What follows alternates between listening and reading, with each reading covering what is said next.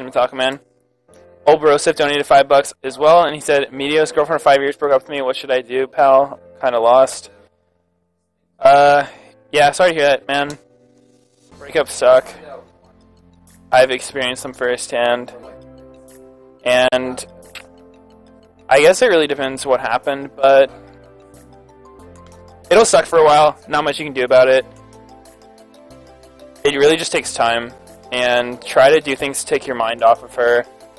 Five years is such a long time. I've never had a relationship like that, so I imagine anything you do reminds you of her. So just try not to think of her, I guess. Um, distract yourself.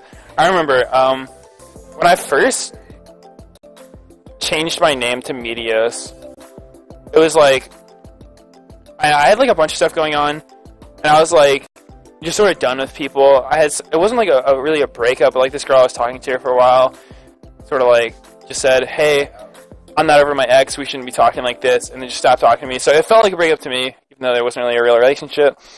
And I just like got hella fucking depressed because I really liked her. And then I changed my name to Meteos, removed all my friends, went full emo, just spammed Elise and ranked for like the longest time. I got shit on every single game. But eventually I learned how to play her. So just do something, take your mind off it.